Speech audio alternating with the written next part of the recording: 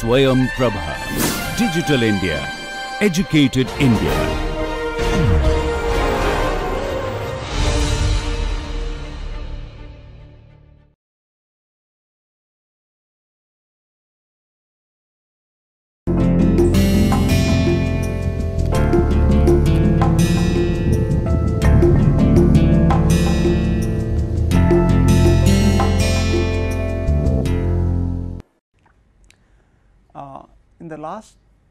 10 or 11 lectures, we have discussed about the fundamentals of compressible flow, which is quite important for analyzing the various aspects in propulsive devices, right.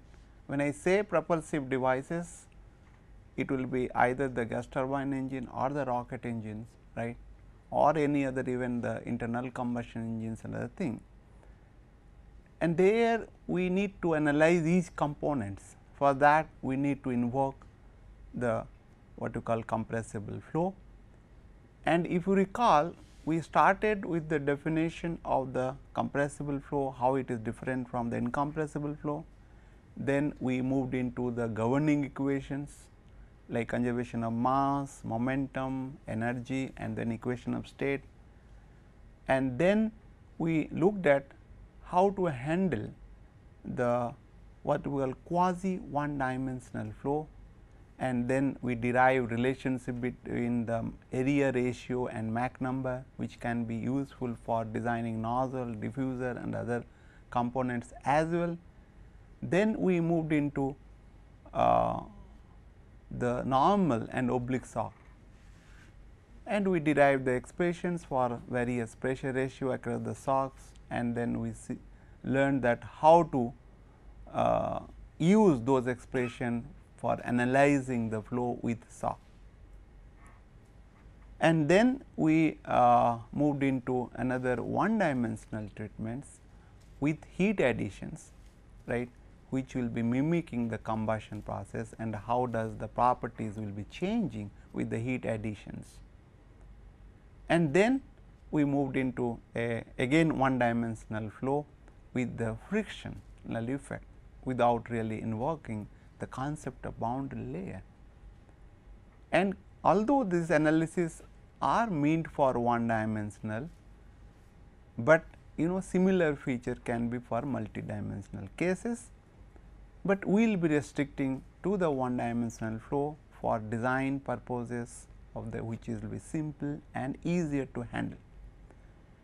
And today we will be looking at the fundamentals of combustion, because the combustion is plays a very important role that most of the power plant for the uh, propulsive devices right relied mostly on the fuel or the chemical fuels right for its energy. And as uh, I had discussed in the uh, what you call earlier classes in the introductory lectures that barring few uh, you know devices mostly we use the combustion or the burning of fossil fuel and also the other fuels in rocket engines you know like for uh, powering the our aircraft or the rocket engines right. So, therefore, one can say that combustor is the heart of propulsive device. So, it is very important to understand the fundamentals of combustion. So, uh, if you look at uh, we will first discuss I mean uh, you know rudimentaries of the combustion and if you know uh, you might be aware the combustion is as old as civilization right and uh, we know historically that people believe that the men were living earlier in jungles like other animals and they started you know discovering the fire right? And therefore, the fire is one of the greatest discovery of the man right? And then they use it control it and then uh, therefore, they could manage to develop a lot of science and technology that we see. That means, subsequent man's subsequent mastery over the fire has made all the development in science and technology that we enjoy today. But however, we are enjoying too much and we are also spoiling the nature, the mother nature to that extent you know life survival is at stake at this moment. And that is of course, due to the greedy nature of human being right. So, of course, our ancestors were knowing aware of the very fact that fire is the genesis of life and they were professing a science and technology which were very benign to the nature's other activities. But today we are at different realm of science and technology. So, it is very important to look at that aspect not only for the propulsive devices for others as well. And you will uh, find that our um, you know scriptures are filled with a lot of prayers for fire and also they were knowing how to use that for the sustenance of life, human life in the earth without really spoiling the nature which is very important. So, even today the knowledge of combustion is very relevant because of what? Because of the scarcity of fossil fuel and also the stringent emission regulations because we are emitting too much of pollutants particularly from burning of fuels and also from other sources as I told that the very life on this earth is in trouble at this moment. So, therefore, it is very important to understand the combustion aspects you know and more in detail right and if you want to really understand this combustion we need to go to the fundamentals and talk about it and learn it. So, that means I can conclude that combustion is an exotic subject which will remain as an important area of knowledge as long as human civilization exists in the globe. Because if you look at the fossil fuel may not be there for maybe another 100 years, but however, we cannot rely on nuclear you know because of greediness of human being and also it is quite dangerous to handle nuclear you know power plants and other things. So, we need to go back to the nature to pray for or to ask for the fuel which will be basically biomass and solar and other things.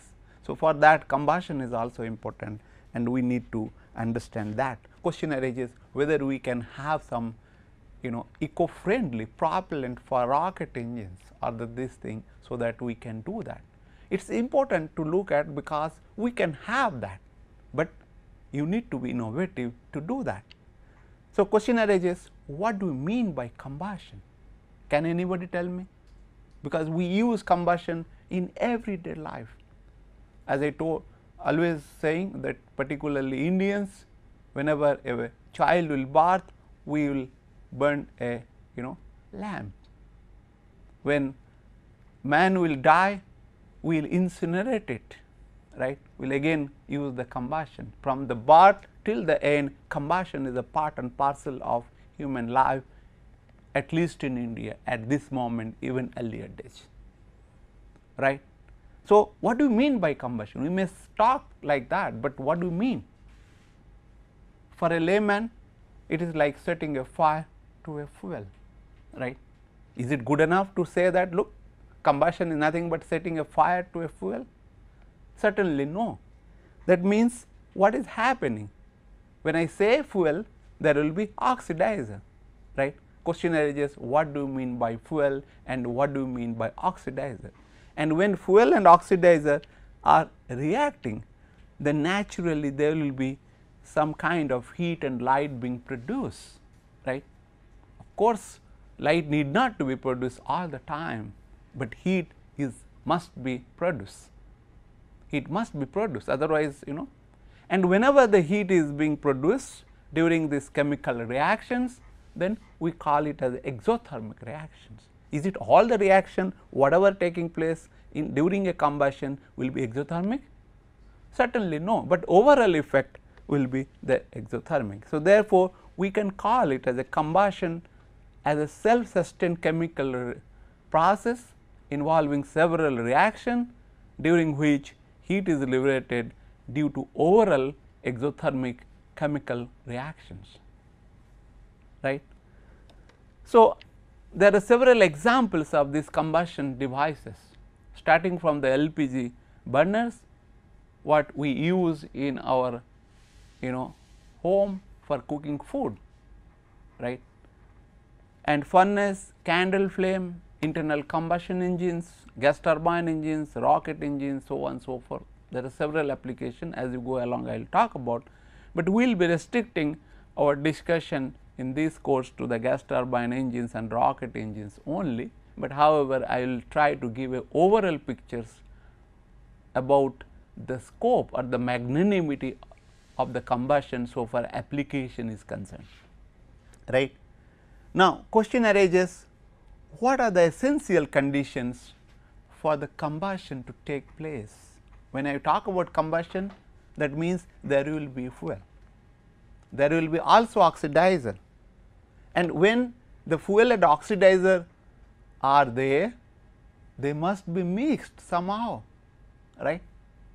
For example, if I take this room and it is having you know some air always there right Air means it will be containing oxygen, but if suppose I am having a gas let us say LPG gas you know LPG gas we use for cooking for in a burner. If I just allow the LPG gas to be there in this room and mix then is it combustion will take place? Right? It won't. That means you need to what? Ignite it. But even if I am having giving igniting it, igniting means basically initiating it, right, then is it possible it will ignite and make it self sustained because as we have looked at that combustion is basically self sustained chemical reactions which will must be exothermic in nature overall wise right. It cannot be self sustained unless it is exothermic because where heat will come to be make it self sustained right. Now, what else?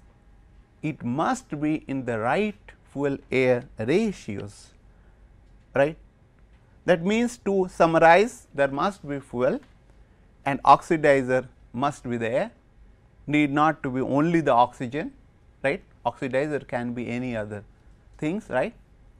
And the fuel air ratio must be in right proportion dictated by flammability limit. What do you mean by this flammability limit?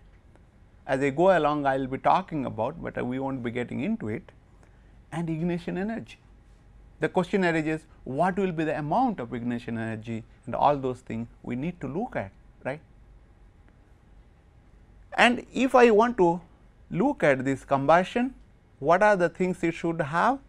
It should have a fuel and oxidizer and you should have ignition energy right. I always feel that this combustion is similar to of a human life right. How it is you people can think of. Can anybody tell me how I can take a similitude from a life and say that combustion? I will tell you for example, a person has taken bath that means it is started life and then it will continue till death. Similarly, if we are having a fuel, it has to be burned till the fuel is exhausted out, right? Yes or no, right? And if you do not have a surrounding, can you sustain a food? Suppose you do not have a food, how will you do? And you need to have initiator or to the life and your father mothers are initiators, right? Even society to help you to learn the thing. So, therefore, one can think about combustion is nothing but a part and parcel of life and therefore, our ancestors were always you know appreciating the fire, the energy which is comes from everywhere. So, now we look at what are the constituents of combustion that means is basically what are the subjects you need to have to have a you know command over the combustion process you know sub subject. That means, it is if you look at you need to learn about thermodynamics right and as we have already discussed for uh, while discussing the this is the thermodynamics and you need to know the chemical kinetics because it is the you know involving chemistry. So, you need to know the chemical kinetics and not only that, but you need to look at the heat and mass transfer because without heat being transferred you cannot have a combustion. So, also the mass transfer that means mass has to move and mix together then only. So, you need to have a heat and mass transfer and also the fluid dynamics which we have already dis discussed extensively. So, therefore, combustion is basically a multidisciplinary subject. To get a command over the combustion, you need to learn other subject very well and you will have to devote a lot of time and perseverance then only you can be a master in combustion otherwise no right. So, it is a multidisciplinary and engineering is basically a multidisciplinary as well right. So, therefore, it is important to be look at combustion and it is the as I told it is the power house you know of a any uh, vehicle like aircraft or a what you call the rocket engine. That means, it is the heart combustor is the heart of the engine and engine is the heart of the vehicle. So, it is the heart of the heart of the vehicle you know you can say that. So, what are the applications if you look at there are several application I will just uh, you know jot down some of them. One is the power plant if you look at this picture I have shown mostly we use the pulverized coal and of course, nowadays the gas like uh, being used to generate power and there will be of course, the transport if you look at transport there is the locomotives you know like on the land and the sea or the in the air these are rocket engines and then gas turbine engines. These are the applications. Broadly it can be classified. And chemical industry there are several chemical industries which you know rely on these combustion processes you know starting from your refinery to the uh, what to call the fertilizers, cement and any other you know chemical chemical producing devices, blast furnaces, you know metallurgy, there are several applications. If you look at I club, all those things as a chemical industries because all re requires chemicals. So, and of course, the domestic applications we know that keep in mind that all these devices are sources of air pollution and also the water pollutions. That means, we need to be carefully use the energy for our life without spoiling the nature which support us for our life. That is a very important part what our ancestors were talking about not going against the nature nor winning over the nature rather you know be a part of nature right and that is the philosophy we need to adopt in the modern life to save our earth from the onslaught of this blatant use of science and technology in human life. So, that does not mean that we should not use, we should use it sparingly, we should use in a sustainable manner such that we can develop a good earth for our next generation. So, now coming back to that as you look at this combustion like it is having a subject thermodynamic, fluid dynamic, heat and mass transfer and kinetic energy. I have just you know put this thing applications. If you look at there are several applications. Uh, if you remember that I had talked about earlier about Wankel engine which is I like it of course, it is not being used nowadays, but I feel it will be one day will be used maybe with the uh, what you call contribution from people like young people like you. And it is a very good for the because it is quite compact it can be used for the aircraft applications. And of course, the IC engine which is uh, what you call uh, being used from the time of Wright brothers till today it is being used uh, you know profusely for driving an aircraft particularly small aircrafts which we will not be discussing, but however, it is a very important engine concept. And uh, like material synthesis and other things are being used and incinerator as I told that these our ancestors were knowing how to incinerate the dead bodies you know. It is a very nice way of doing it and we need to work for that to make it more benignly you know environmental benign. And boiler which is the basically we get power and I have shown a diagram over here. And furnaces is being used. There are several kinds of furnace. Blast furnace coke oven furnace. There are several like glass melting furnaces. There are several of them and which is used in industries. And that uses combustion. Of course the gas turbine engine which is being used for our aircraft propulsion and also the power plants generating power, rocket engine which we will be discussing both the gas turbine engine and rocket engines to propel an air uh, what you call rocket, the power generations and there is a very interesting thing recent time there is a micro combustors you know which is having a lot of applications in uh, what you call micro air vehicles kind of things right? And um, uh, and there is a new engine which is coming up is pulse detonation engine which can be used for aero application as well. So, and of course, as I told this is a fire which is the genesis of our life and if you look at fire everywhere is there. And so, therefore, these are the all application one can think of because when I am talking about uh, what you call combustion applied to the gas turbine uh, and rocket engines, but we need to have a broader view. That is why I put these things before you. And question arises now what do you mean by a fuel? Because we need to use fuel. We must know what do you mean by a fuel? Can anybody tell me? So fuel is the combination of hydrocarbons that release the heat on breaking the bonds between them. Yeah, but if you look at there are several fuel which are not hydrocarbon, right? Can you not call it as a fuel? But I want to define what do you mean by a fuel. It's a chemical when uh, yes when oxidizes releases energy.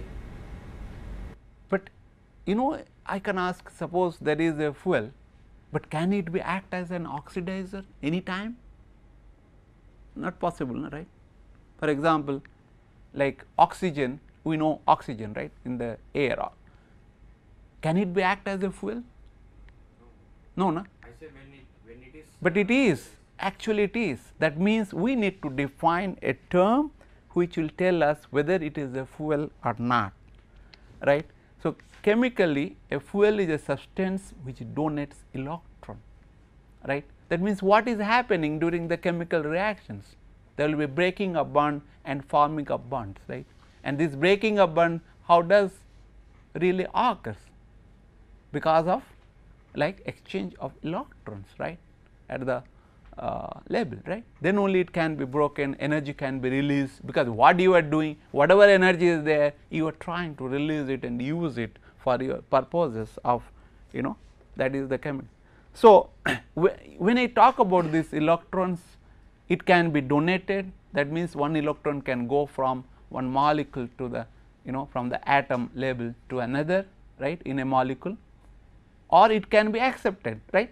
There can be two things. If donation you know your one is moving other we can come also in. It is like a go of the wall you know. It is like a, if it is a coin head is there tail will be there you know that way if light is there, then darkness is there. That way, if you are giving something, you can accept as well. So, then when you talk about this, how will quantify it? How will talk in terms of can you say that okay, one electron is moving, the another electron can be accepted, 5 can be moved and other thing. So, for that we can define a term you know electronegativity that means a must have a lower electronegativity. You know this term electronegativity which was uh, given by Linus Pauling right who was a Nobel laureate who you know talked about this electronegativity which is basically a property of elements ability to donate or accept a electron right. In other words, it is basically says that what is the extent of an electron in an atom you know sorry the electrons in the atom in a molecule can be attracted to itself or it can be repelled from it right that will be the electronegativity.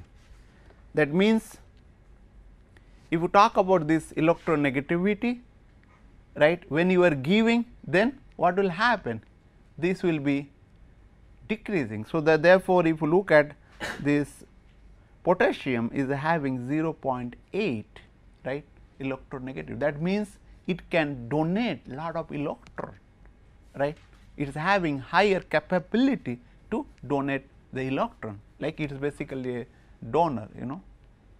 So, as you go along with this this label that means is 0.08 the sodium, lithium, magnesium, beryllium, boron you know this electronegativity increases and similarly the hydrogen you know and carbon it is also increasing right order. If you look at oxygen over here and this O is oxygen and F is for fluorine right.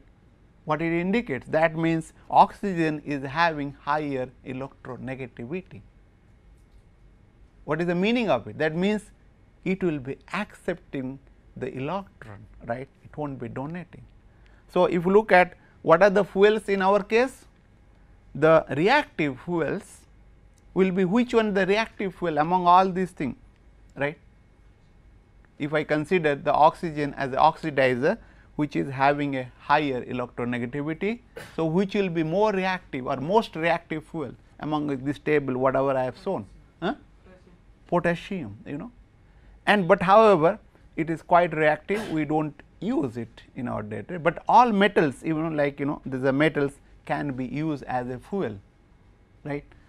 And we use carbon and hydrogen as one of you told that you know hydrocarbons we use as a fuel because it is available.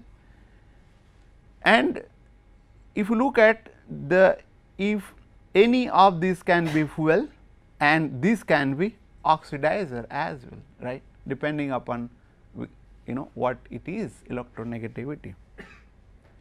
So, if you look at we can say that in the similar way that chemically an oxidized substance which accepts electron right?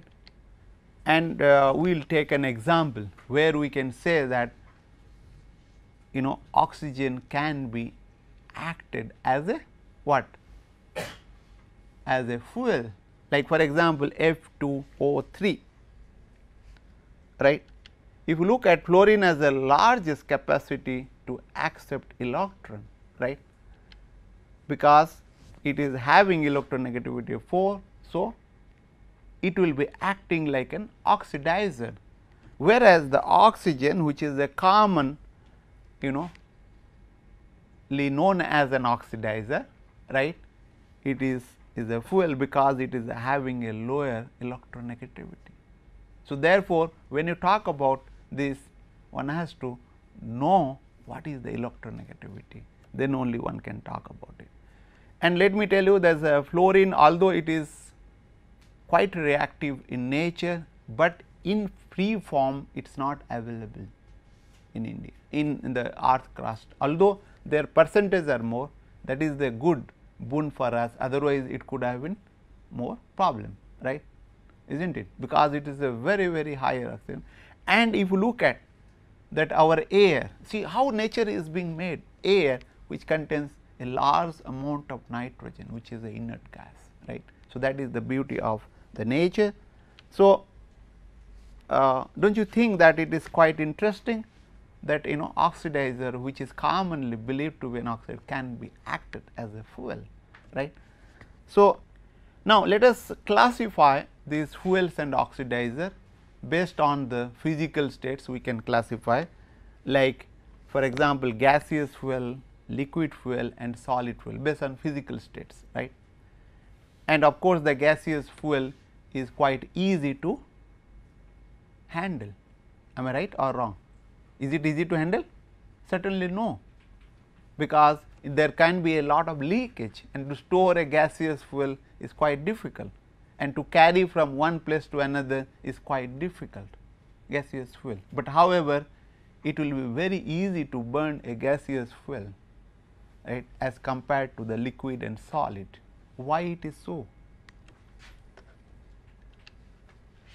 So, gaseous fuel as I told that uh, they are preferred over the liquid and solid fuels right and because it is easier to burn with higher efficiency. But do you agree with this point that you know it is easier to burn with higher efficiency? Why not the liquid fuel and the solid fuel? That question must be bothering you as you go along we may see sometime and it is easier to control the emission which is a greater concern at this moment than what it was maybe 100 years back right. And gas handling system is less expensive. Do you agree with this statement? Right? Certainly no or yes, some of you are saying true, right? Why? Because if I want to atomize a liquid, right, I will have to supply a large amount of pressure. If I want to use a solid like a bulk let us say wood or something, I will have to pulverize it and to transport the pulverized fuel is quite difficult you know and how I will control it is also a difficult thing.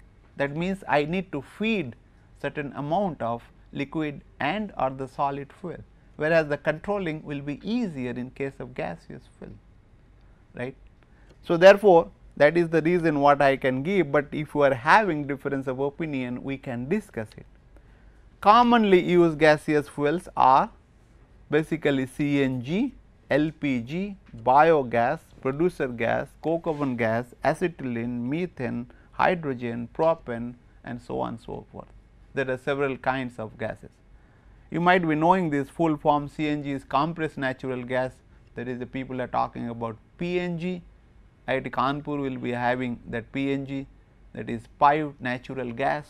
That means you will get gas in your home through a pipe conduits right? And LPG you know the liquefied petroleum gas. Of course biogas you might be knowing it is being used in rural area from the cow dung and others animal dungs kind of things or any other even uh, what you call leaves you can get by fermentation process and producer gas you might be aware that producer gas can be obtained by thermochemical conversion from the biomass and other you know uh, biomaterials right? You uh, I think you might be aware you will be surprised to know that most of the automobiles were being run using producer gas before the second world war right? Producer gas. And coke oven gas of course, from the your oven furnace, acetylene, methane, hydrogen and propane we do use.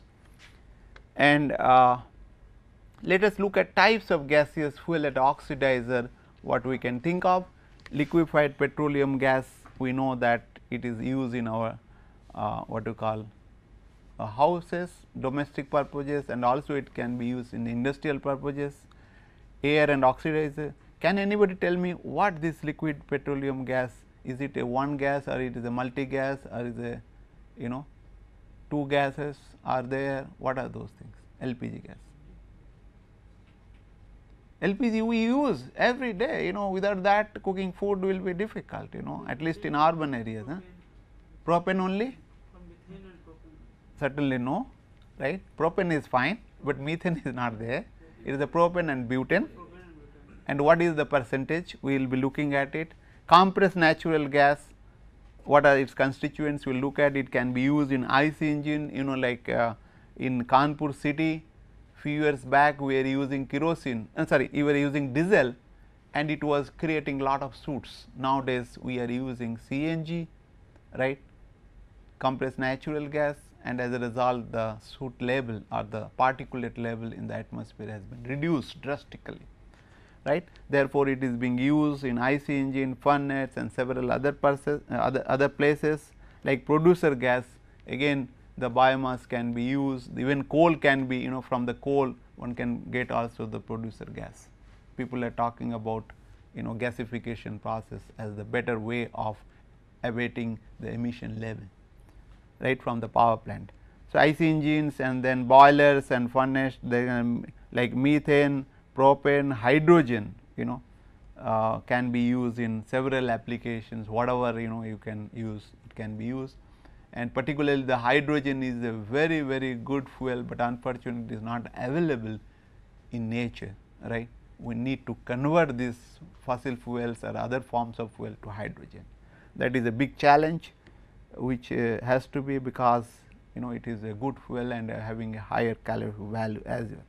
So, biogas which is being used in engine and burners we know this acetylene we use for gas welding, cuttings and other things.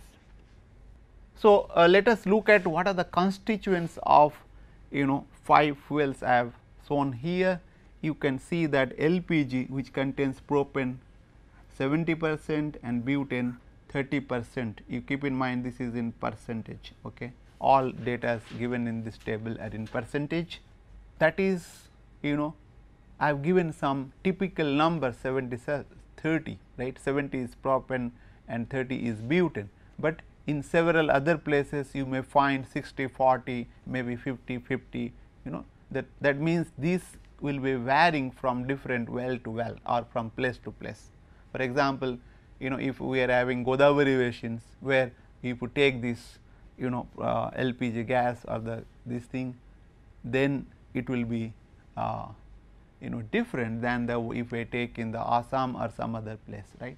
So, therefore, it will be varying. In you know in other countries also it varies the percentage. There is nothing sacrosanct about this percentage, but what we must learn that it is having propane and butane. Keep in mind that it is liquid at what? Pressure.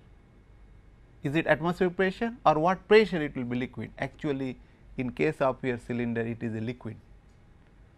When you open that that means at a higher pressure it is a liquid when you open it then it convert into gas and you get the gas that is the beauty of liquefied petroleum otherwise you will have to carrying will be very difficult right. Okay. So, natural gas if I look at that in this uh, table it is something around 90 percent of methane, 5 percent of ethane right and 5 percent of nitrogen. You may get several other composition as I told it depends on the where it is being taken from which well it is being taken. But generally it contains you know uh, methanes in a large proportion.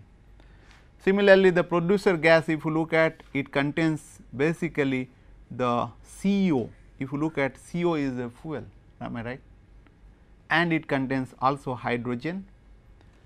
And rest of the things are not really part of fuel like 50 percent nitrogen and 0.1 of course oxygen and 8 percent CO2 but you again I must tell you that these constituents will be varying depending on the type of gasification units you are using and also the whether you are using oxygen or you are using air. If you are using air nitrogen will be more and uh, of course, the propane uh, generally it contains you know large amount of propane and small amounts of other hydrocarbons.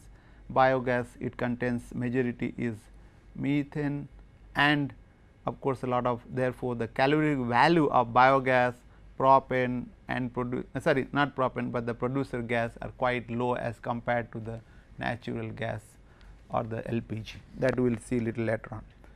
So, heating values if you look at amount of heat released per unit kg when it undergoes oxidation at normal pressure and temperature we call it as a heating value right which is very important. Question arises how will evaluate the heating value of the fuel? How will evaluate? What are the ways of doing that? Can anybody tell me? I want to know let us say methane what will be the you know calorific value what we call heating value is nothing but also the calorific value of the fuel.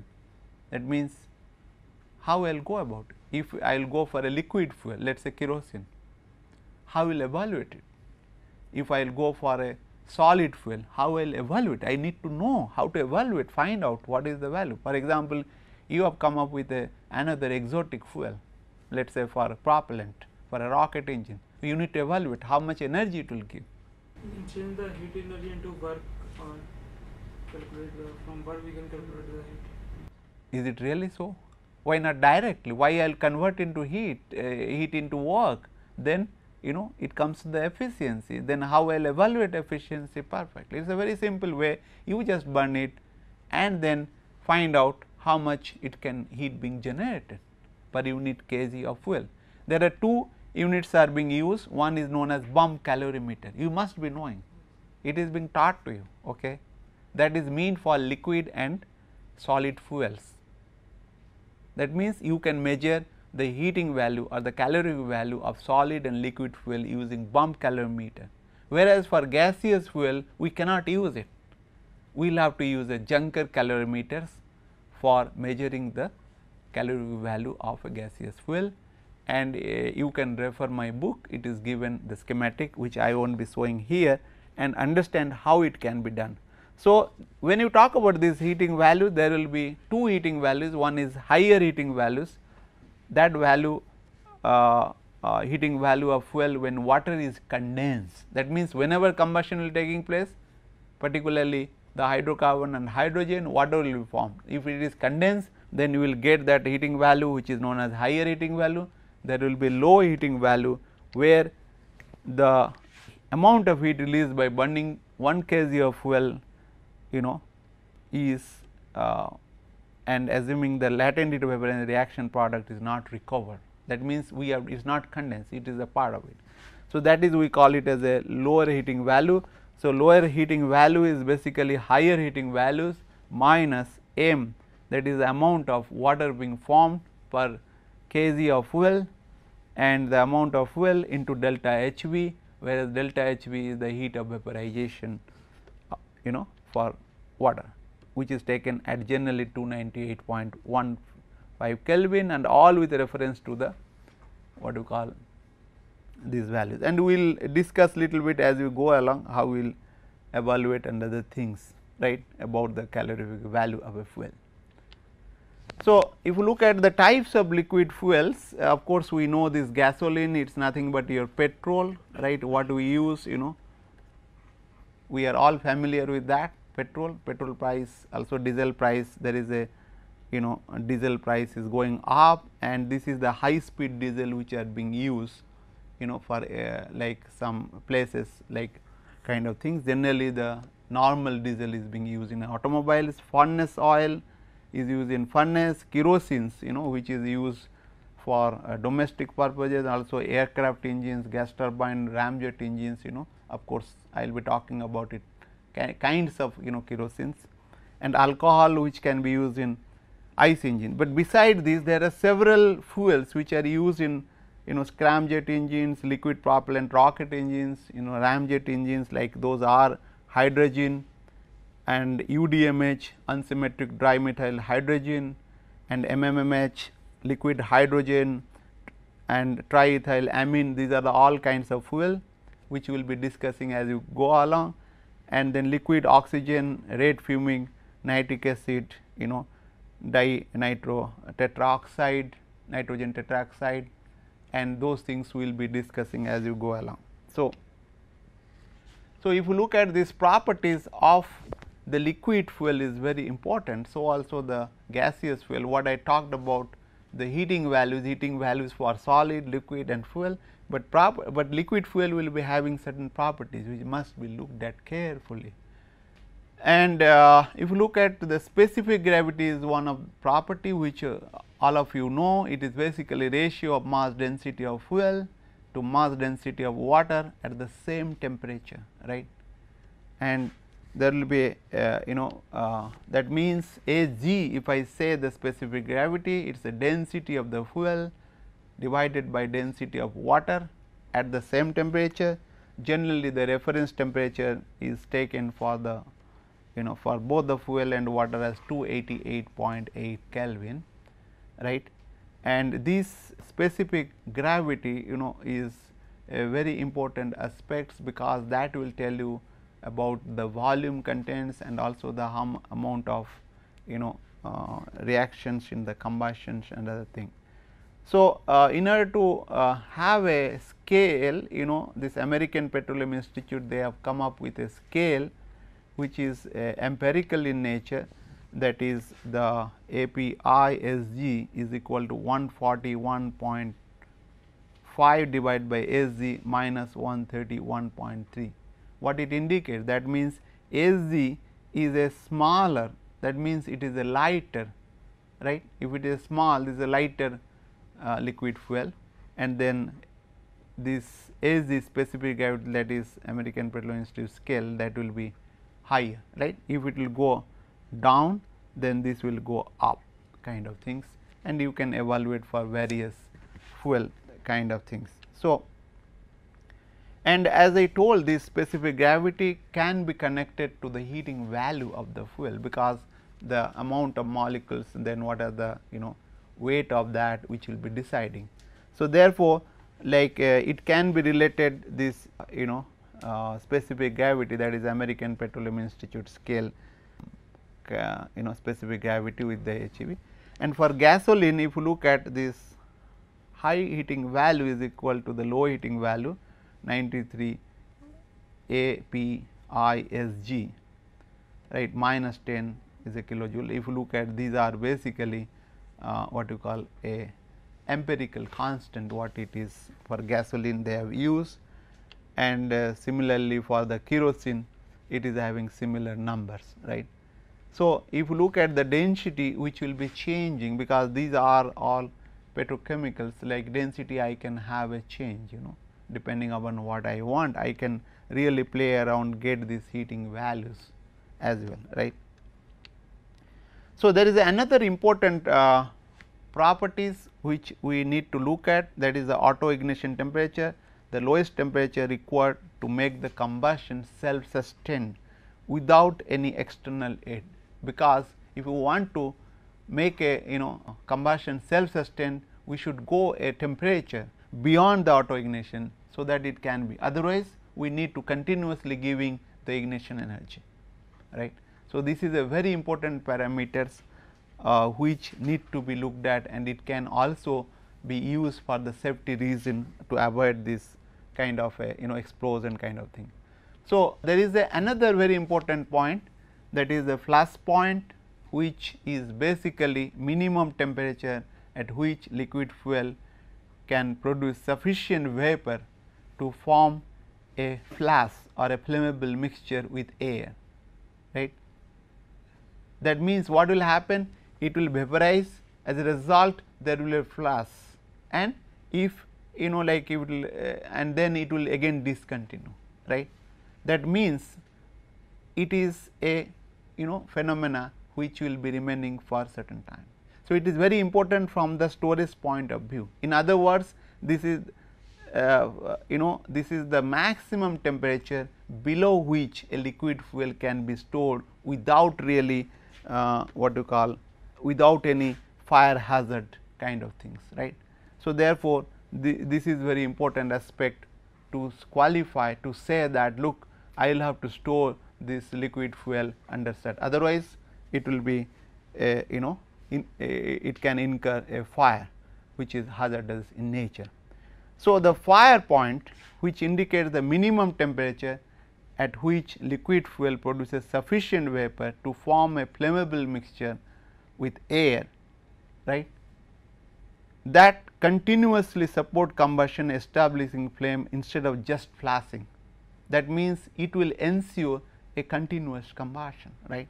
That means, when I am talking about the uh, you know to sustain combustion I should go beyond the fire point right and when I am talking about storage I need to have a you know temperature at which I can store a fuel must be less than the fire uh, flash point. So, there is a you know whenever you use hydrocarbon fuel lot of uh, soot will be formed because of you know incomplete combustion thing and uh, liquid fuel is uh, having you know prone to the soot formation therefore, we need to find out soot point and which is a measure of tendency of liquid fuel to produce soot because the soot is not really good for the gas turbine or any other applications. So, therefore, it must be also talked about when you are judging whether this fuel can be used for your engines or not. So, these are the properties which are very important. I must uh, just tell you the specific gravity which I have shown uh, you know for this kerosenes and ATF aviation turbine fuel JP8 there are several kinds of thing you can look at the number. And uh, the viscosity kinematic viscosity is shown here. And boiling point if you look at it is having range. And flash point if you look at this is the 311 and 325 which is nearby. And auto ignition temperature if you look at it is you know uh, what you call uh, higher than the flash point and of course, the stoichiometric ratios is generally hydrocarbon fuel will be around 15 that. And uh, the heating values if you look at all are similar numbers like 45.2 and 43.5 43.5 megajoule per kg right? And there are uh, types of solid and fuel oxidizer. There are several kind of thing biomass like wood and sawdust all those things lot of things are there you need to use air oxidation domestic purposes even the engine can be run. Coal, coke, charcoal several kind of things, but the special fuels particularly for the uh, what you call rocket engines is the nitrocellulose STPB, CTPB which we will be discussing little later on. And there is a several other oxidizer like nitroglycerin which are solid in nature keep in mind. Ammonium perchlorate, ammonium nitrate, Uh, you know nitrogen tetroxide kind of thing which is used in solid propellant rocket engine and hybrid rocket engine. I will just ask a question is there any possibility that we can have a solid propellant fuel you know or the fuel from the natural products not like these chemicals. You please think about it let us see as we go along I will give some clue about it. With this I will stop over.